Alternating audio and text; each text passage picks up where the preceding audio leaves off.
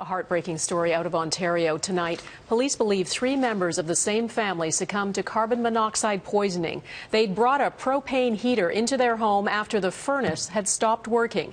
And as Christina Stevens reports, for some reason their carbon monoxide detector didn't wake them up. And by the time another family member arrived, it was too late.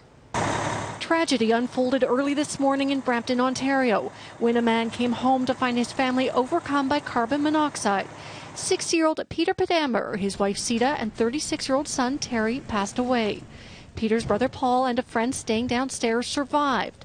The family had been running industrial strength propane heaters inside after their furnace broke down yesterday. When the son came home, an alarm was going off, so they did have a carbon monoxide alarm. Fire officials say the CO detector was on the lower level away from the heaters, so by the time it went off, it was too late, leaving relatives grieving a stunning loss. They had the biggest hearts in the world. They'd do anything for anybody.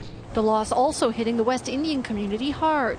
Originally from Guyana, the family ran Calypso Hut, a popular restaurant and gathering place for nearly three decades. There was a similar tragedy just a few months ago. During the Ontario ice storm, a Newcastle man and his mother died after carbon monoxide seeped into their home from a gas generator running in the garage. I just don't want you going in the building right now. And there were several evacuations as a result of people bringing barbecues and heaters into their homes. Carbon monoxide is a silent killer.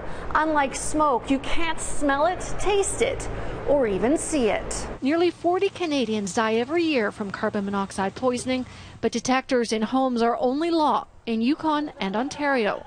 This Ontario MPP fought for legislation for five years and says location is critical. At least one detector on every floor. If it's going in the basement and you're sleeping upstairs and can't hear it, the carbon monoxide can make that trip, but if the sound can't make it back, you won't know what's going off.